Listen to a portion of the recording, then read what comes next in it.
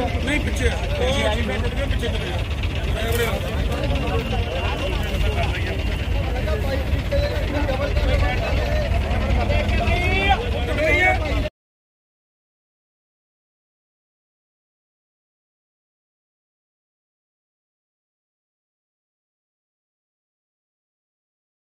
ਪਤਾ ਲੱਗਿਆ ਜੀ ਗੱਡੀ ਗਿਰੀ ਕਿਸ ਤਰ੍ਹਾਂ ਜੀ?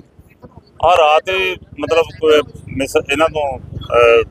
ਓਵਰਟੇਕ ਕਰਦਿਆਂ ਗੱਡੀ ਜਿਹੜੀ ਆ ਸ਼ਹਿਰ ਤੋਂ ਆ ਰਹੀ ਸੀ ਤੇ ਇਹਨਾਂ ਨੇ ਰੂਟ ਫੜਨਾ ਸੀ ਲੁਧਿਆਣੇ ਵਾਲਾ ਤੋਂ ਕਿਸੇ ਤਰ੍ਹਾਂ ਇਹਨਾਂ ਨੂੰ ਮਿਸ ਅੰਡਰਸਟੈਂਡਿੰਗ ਹੋ ਕੇ ਜਿਹੜੀ ਇਹ ਨਹਿਰ ਨਹਿਰ ਦੇ ਵਿੱਚ ਗਿਰ ਗਈ ਹੈ ਸਰ ਜਿਵੇਂ ਕਿ ਪਤਾ ਲੱਗ ਰਿਹਾ ਵੀ ਹੁਣ ਕਿੰਨੇ ਬੰਦੇ ਜਿਹੜੇ ਵਿੱਚੋਂ ਗੱਡੀ ਚੋਂ ਨਿਕਲਿਆ ਤੇ ਕੋਈ ਗੱਡੀ ਦਾ ਸ਼ੀਸ਼ਾ ਟੁੱਟਿਆ ਹੋਇਆ ਸੀ ਜਾਂ ਹੋਰ ਬੰਦ ਜਿਹੜਾ ਸੀ ਹਾਂ ਉਹਦਾ ਫਰੰਟ ਡਰਾਈਵਰ ਸਾਈਡ ਸੀਟਾ ਵੀ ਟੁੱਟਿਆ ਹੋਇਆ ਤੇ ਬੈਕ ਸਾਈਡ ਦਾ ਵੀ ਟੁੱਟਿਆ ਹੋਇਆ ਸੀ। ਕਿੰਨੇ ਵਜੇ ਦਾ ਹਾਦਸਾ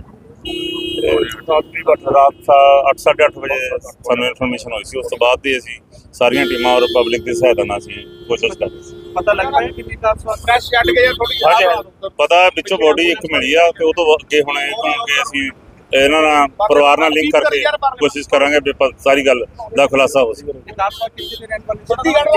ਫਿਰੋਜ਼ਪੁਰ ਦਾ ਪਤਾ ਲੱਗਾ ਜੀ ਇਹਦਾ ਸਾਰੇ ਦੇ ਘਰਦਿਆਂ ਨਾਲ ਕੋਈ ਨੰਬਰ ਜਾਂ ਹੋਰ ਬਸ ਹੁਣ ਕਰ ਰਹੇ ਹਾਂ ਤਾਂ ਹੁਣ ਤਾਂ ਫ੍ਰੀ ਹੋ ਕੇ ਕਰ ਰਹੇ ਹਾਂ